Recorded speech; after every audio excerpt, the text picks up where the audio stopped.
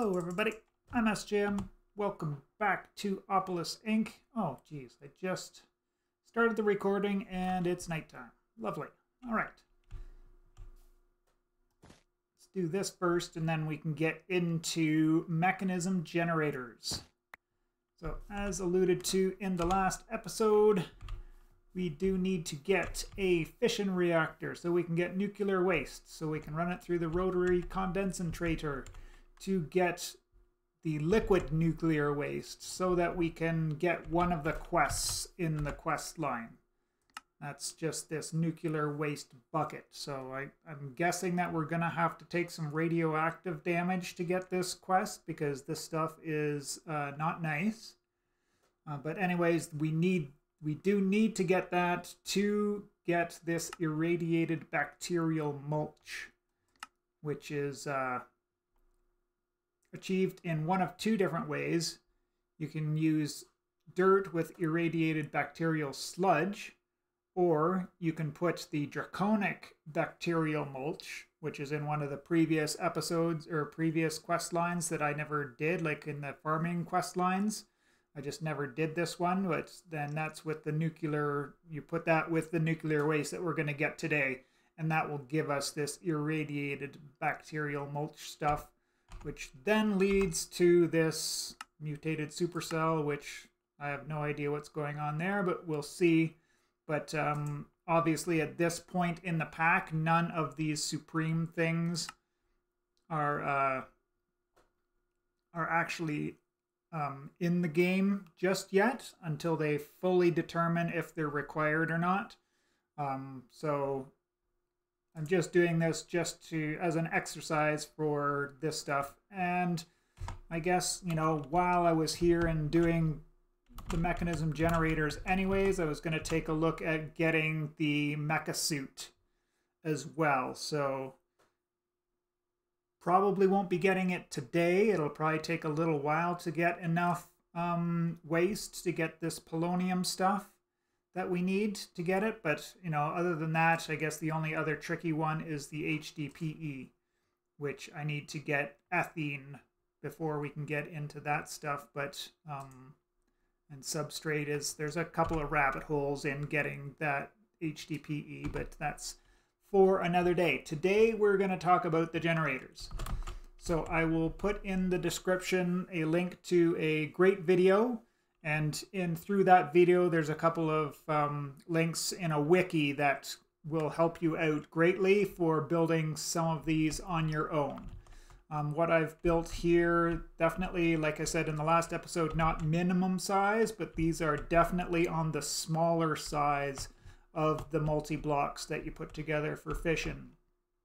Um, this is uh, basically a uh, 5 by 5 These are 5 by 5s so three by three on the interiors, and uh, then the differing heights according to the needs that we uh, that we set out in there. So one of the, I guess the, we'll go, we'll just go over the basics here because I don't want to get too much in depth into it in this um, playthrough, but you want to start off with the turbine and then build your reactor according to the specs that your turbine can handle, I guess is the best way to put it. So the, the wiki page said the best bang for your buck was a 5 by 5 by 9 so that's how I built this. And then if we, oh, we can't, uh, we can't look at the structure because I tore it apart a little bit to explain it. But basically you need the entire base of this turbine casings, and then all of the outer edges have to be the turbine casings for the um, for the turbine, and that's exactly the same for the fission reactor as well. So you need the fission reactor casings, the entire base has to be the casing, and then all of the outsides. Then the walls can be a mixture of reactor glass, uh, reactor ports, or you could use casings on the outside as well if you're feeling rich, I guess, or if you don't want to see what's going on on the inside. That I thought would attach. That's not attached either. Oh, because it's not put together. That's why. I did take it apart a little bit um, here just to uh, just so that we can go over the uh, workings of it. So in the middle there, let's look at turbine first. So we've got the turbine casings on the outside along with the structural glass goes into this one and then the reactor has reactor glass so just note that there's two different kinds of glass there. Then in the middle we have the turbine rotors. I have five of them and on the turbine rotors are the turbine blades. So two each, two blades for each of the rotors so I have 10 turbine blades. Then on top of the turbine blades goes the rotational complex. And then on top of the complex has to go an electromagnetic coil. And then you need um, one electromagnetic coil for every four rotors in your turbine. So because I have 10 rotors, I needed two and a half. So rounded up, I needed to have, make sure I had, I need to make sure that that's out for now. Uh, three electromagnetic magnetic coils in there. So on the level where you put down your rotational complex, the entire rest of that level has to be filled with pressure dispersers.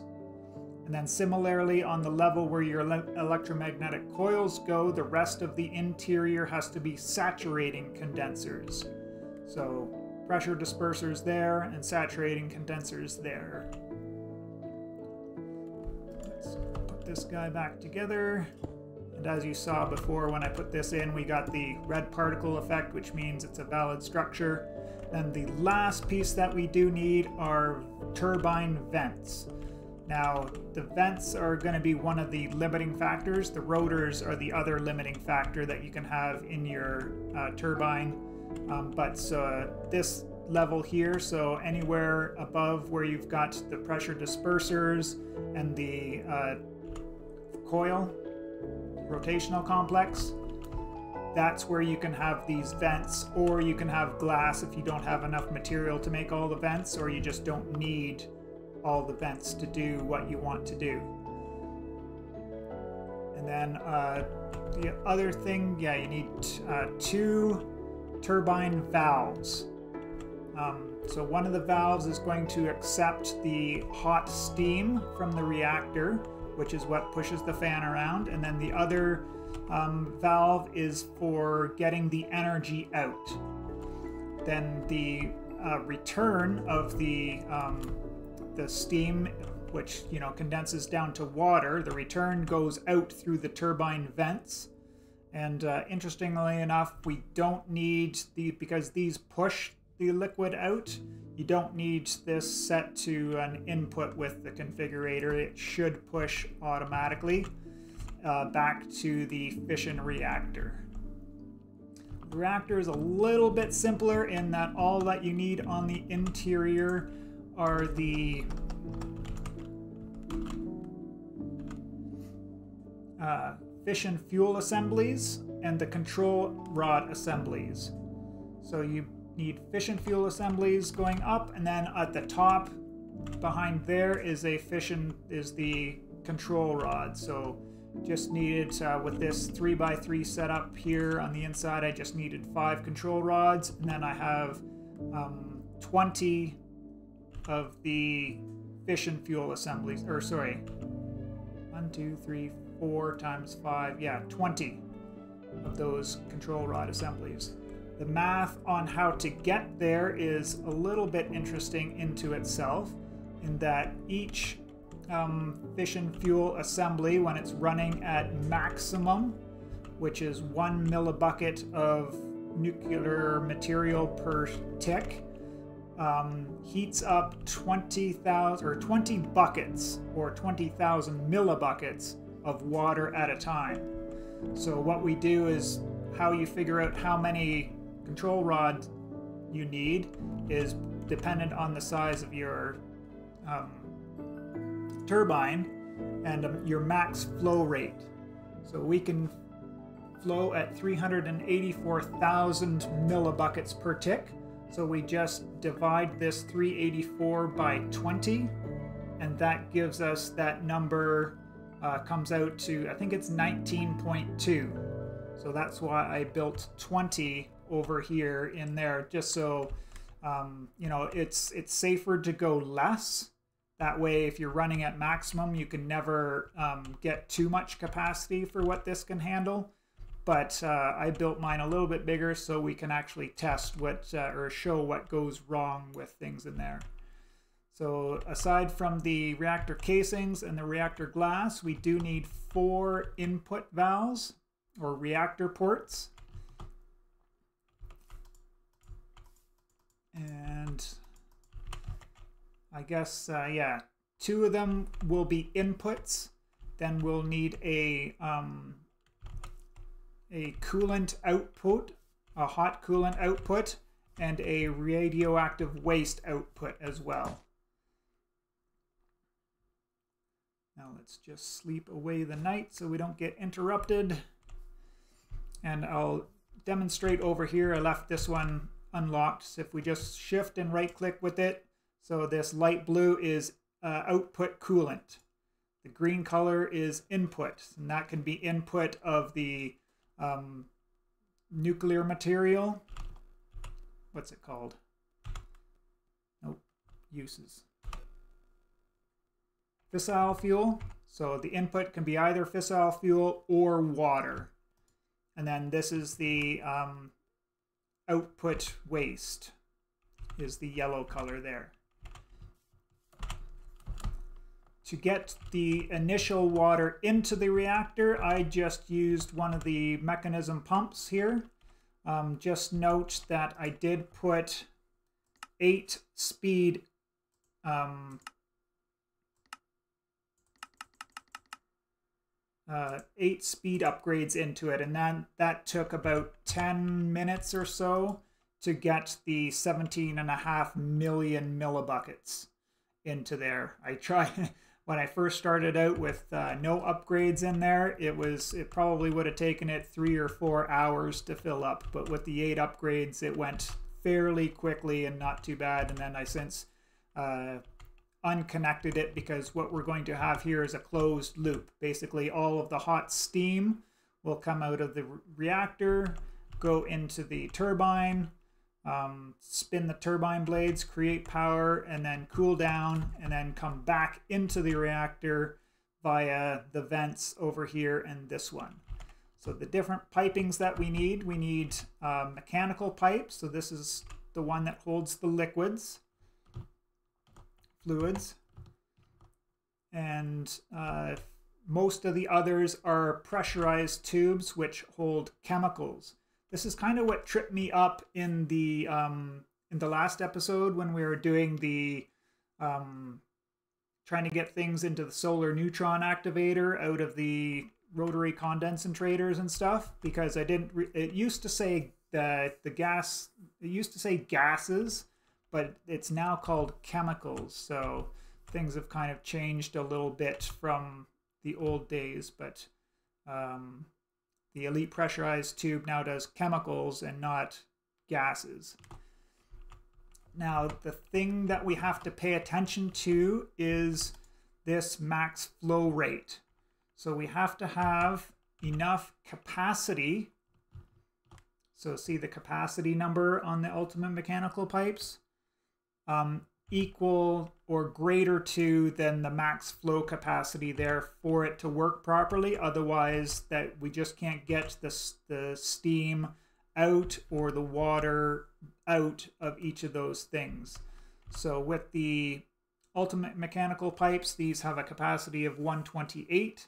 So to get up to that 384 number, we needed to have at least three of them right? But I built these a little bit different. I built or I built these a little bit further away just for chunk purposes so that this this the this and the induction matrix are in their own chunk and then the uh, reactor and this processes here is is in its own chunk is one of the things that it does tell you in the uh, that other guide there is to be careful of to not to put these in chunks that might not be loaded. But uh, I have these both loaded and for or both protected and now force loaded so we shouldn't have any troubles with that there. Uh, this one does need to be did not mean to do that. That needs to be input only, and this needs to be, yeah, on pull. So that needs to be on pull so that it will pull the steam out over to there. And this uh, universal cable, uh, the universal cable here has a capacity of 409,000 FE per tick, whereas this turbine will have a max production of 548. So I could go up to the ultimate version, but it it's not hard for me. I've already done all of this stuff because some of these machines already took like atomic alloys, so I had that all built.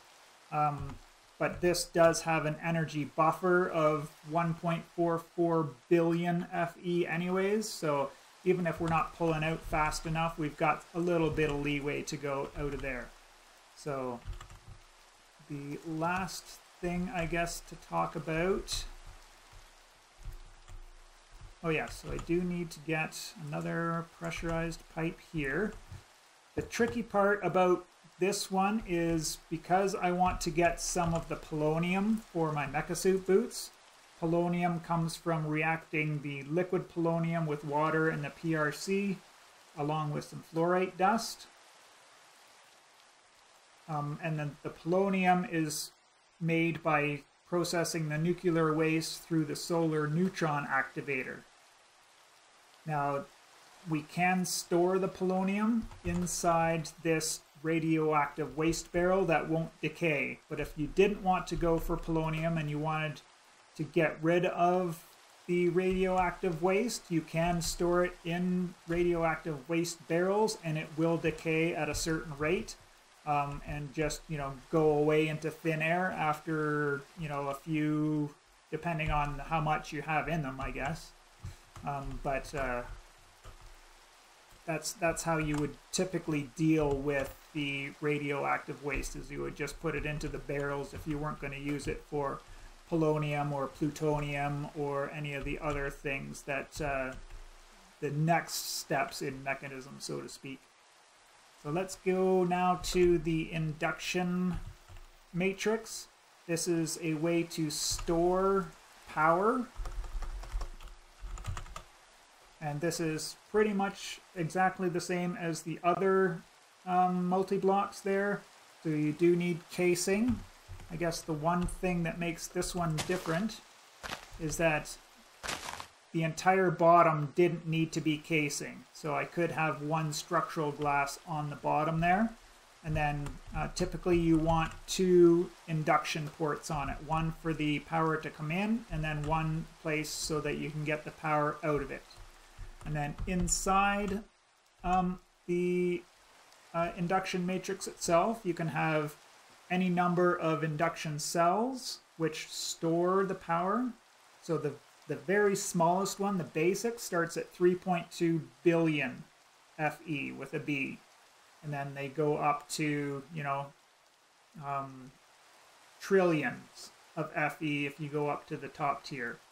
The other thing that you need in there is an induction provider, and this is what limits how much power can come into and go out of your induction matrix. So in mine, I've got uh, an advanced induction cell so that I can store 25 giga. And I just have the basic induction provider in there because I was lazy and just that's the one that I made. So we really can't even handle that 1.22 million. We can only do 102,000 uh, FE per tick coming in or out of it, so to speak. But anyways, I think I've blabbed on enough about that. If you've got more questions, refer to the other video and the wiki. That was a great help to me in building all of this stuff to what I thought I needed to do. Um, let's uh, pretty much jump into it, I guess. Like, I'll need... I'll need this guy. I will need provide power to these two machines. Why wouldn't you go in between like that on the first try?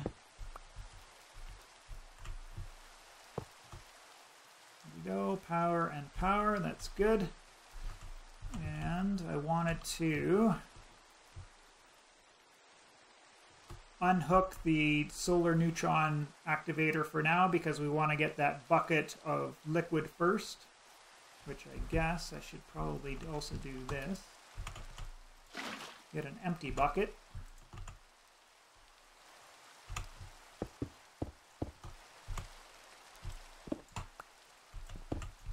Clean up the top here. I think I'm all ready to go. A little bit nervous, I won't lie.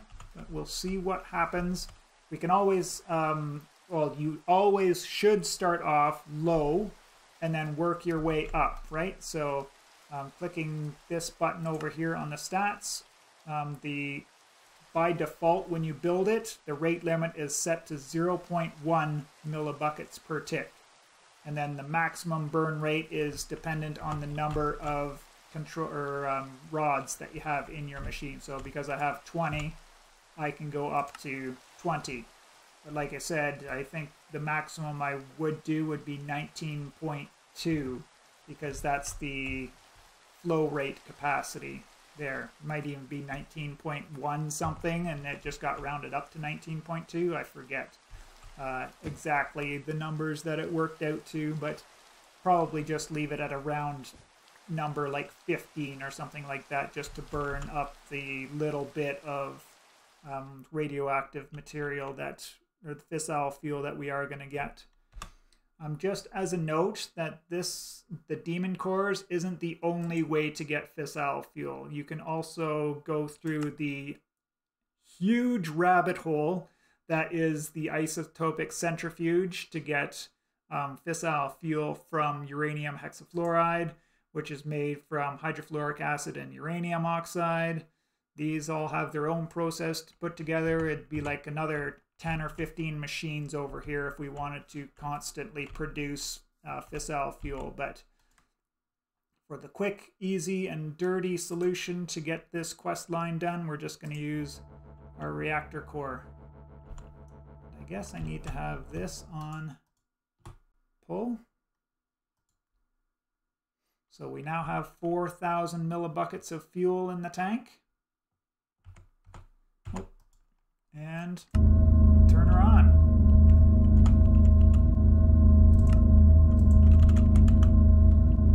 Shush. I'm trying to talk to these nice people. So this is running. Um, it's got a heat rate. Things are going. There's probably some steam coming in over here. Oh, maybe not yet. Maybe it's just running so slow that nothing can come in. Because we are our water is going down, right? Because we are heating it up. Oh, this needs to be on pull too. There we go.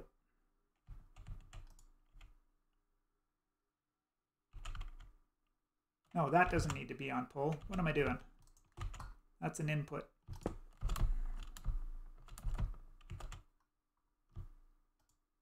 Derping on camera here again.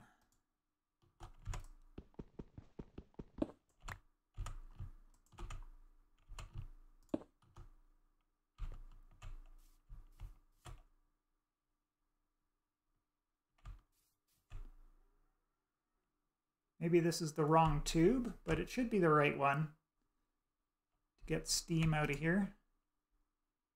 So steam is building in there. It's not getting pulled out.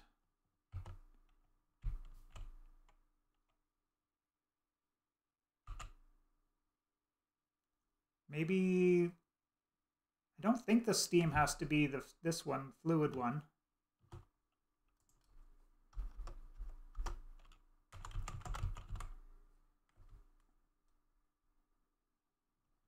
right? And there's no other types of pipes.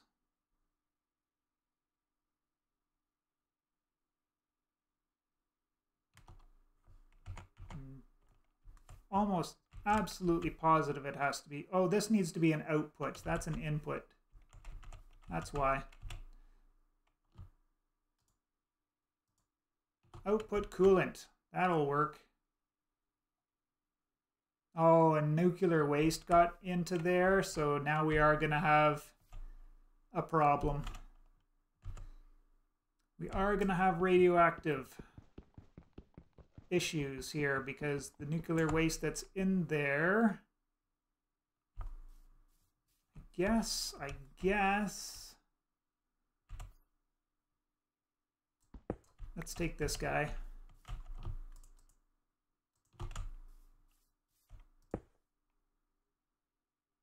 There. Breaking that should have, yeah, I'm pretty sure it did cause. See, there's uh, green particles in the air there now. So now we have a problem. But we've got it working finally. So it's a less of a problem because our reactor is not going to melt down on us. Yeah, we've got different colors going on. You can see all these particles. That was because this had the uh, waste in it. And I broke it and that released it into the atmosphere. So we should have a debuff, which I guess I just can't see right now, but that's fine. Anyways, let's start ramping this guy up. So let's go from 0.1 to, let's say, uh, 2.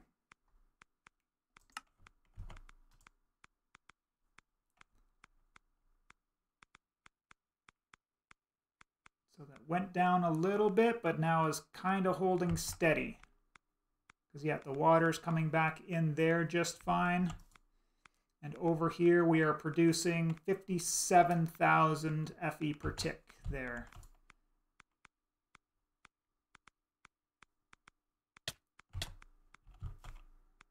Oh.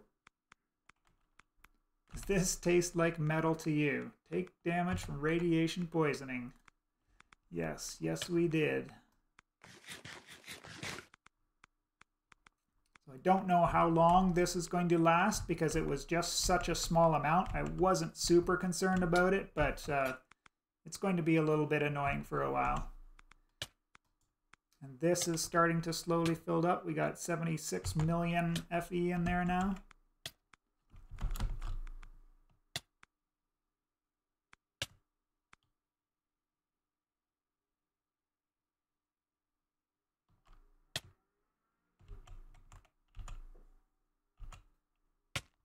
Don't see the particles over here, but the color is still there in the world, right?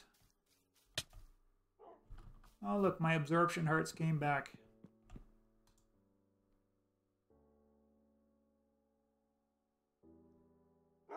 Why is this one here?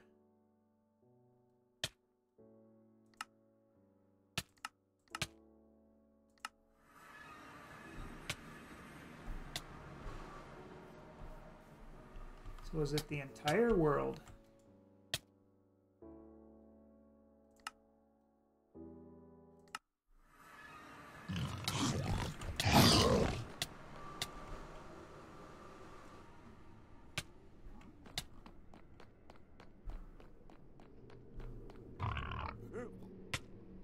Can't have it here. Well, I guess I'm still sick from getting it in the overworld.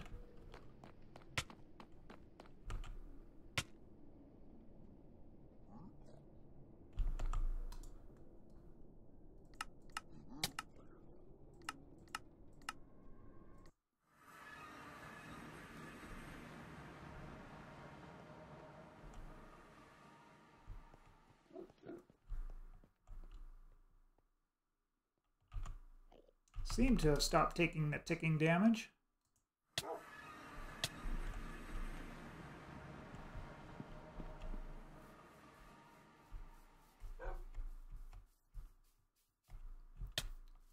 We did have the particles somewhere along the way here.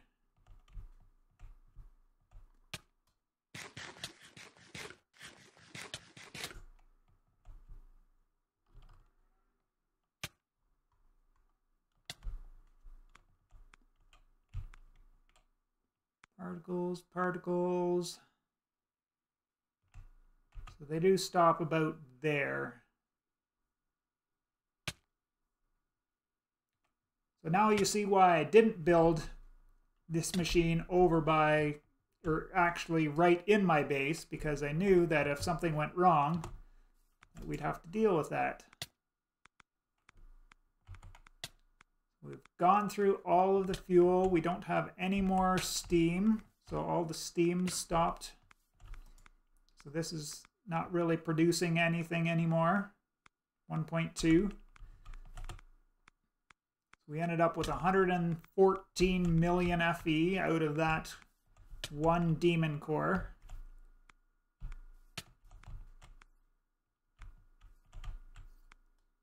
And now I do want to pull... Oh, waste tank is empty.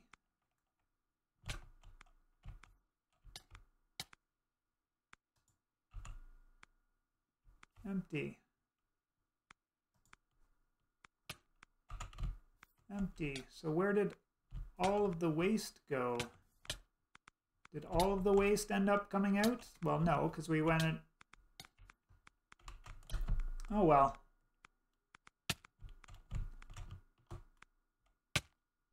We'll have to wait until this disperses, I guess, and then retry that. I've got lots and lots of things to do, so I'm not too worried about it. Even if that takes, you know, a few days for it to, to go away. Yeah, now I am curious.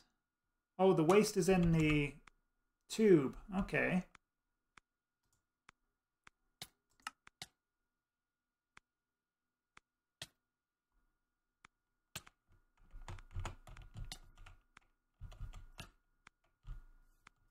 Why is it saying there's two tubes connected? Back or right? I'm going to say it's back. Oh, because this isn't on pull. Oh, but it's in there, so it didn't need to be on pull.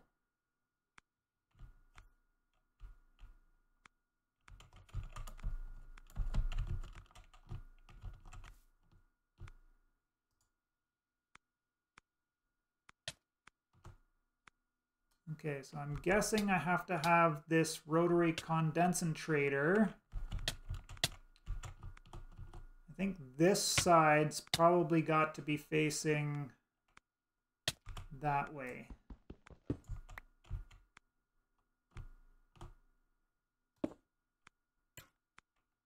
Nope, that was not it.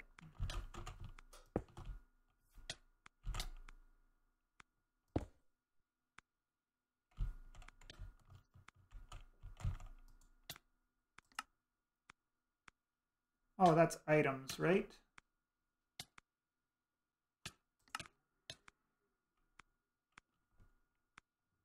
Fluids? No, it needs to be chemicals.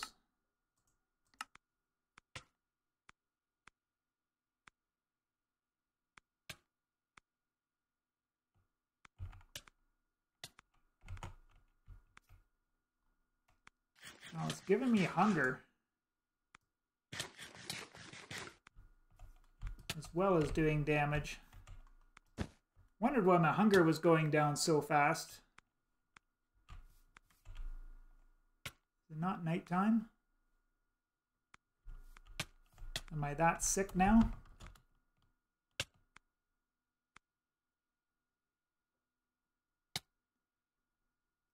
All right, on between episodes, I will have to mess around with that rotary condensator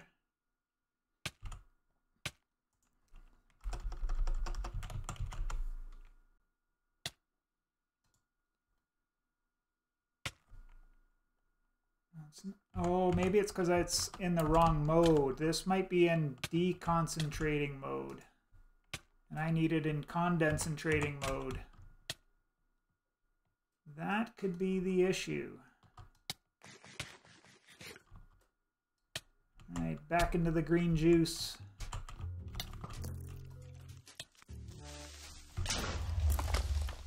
Really? Oh, I couldn't sleep because I was taking damage. Ah, that's why.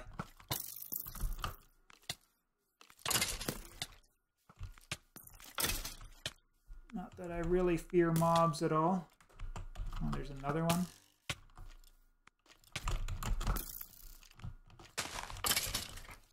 All right. You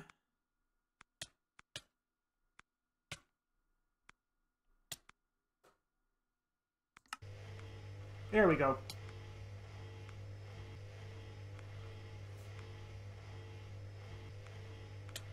Figured it out finally.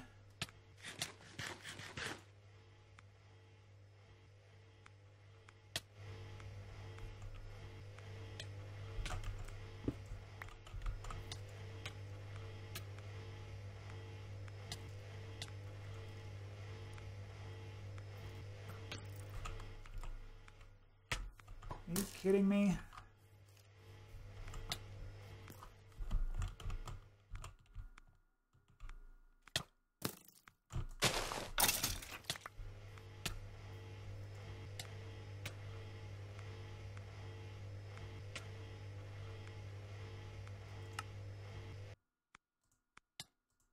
There, and then I'll figure out how to get the nuclear waste out of there so that I can put it into my neutron activator did want to slap that into there so I'm not carrying it around on me. And I'm guessing chemical tank.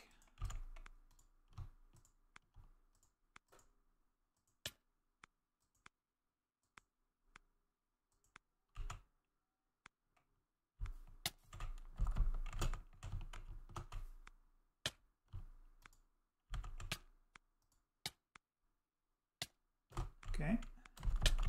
Got the waste back into the pipe.